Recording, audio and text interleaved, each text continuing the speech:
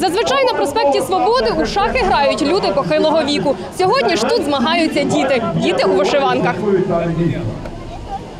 Шаховий турнір у вишиванках у Львові провели вдруге. І вже другий рік поспіль у ньому бере участь 11-річна Настя. Я вже була на багатьох турнірах, але цей особливий, тому що він е, пов'язаний з Україною, з нашим е, ніби як е, символом державним, з вишиванкою. Для юних шахістів цей турнір можливість пограти з новими суперниками та набратися досвіду. Тому Настя чекала на ці змагання. Ми збиралися з вечора, щоб все встигнути. Зранку тільки зачесалися, вділися і все.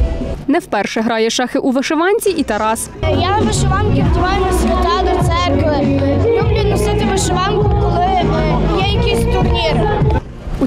Змагалися учні із шести шкіл, які відвідують шахові гуртки. Це початківці без розряду, а також четверторозрядники.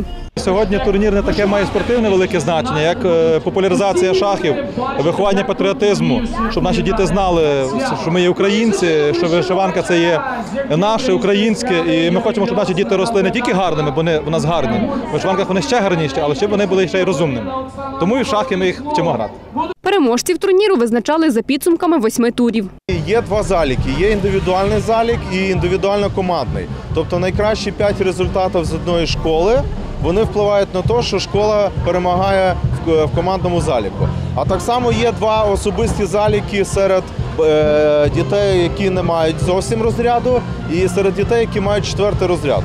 Найсильніших шахістів нагородили кубками, медалями, а також сертифікатами за виконання третього або четвертого розрядів. Софія Войцехівська, Віталій Дмитерко, Правда спорт, телеканал НТА.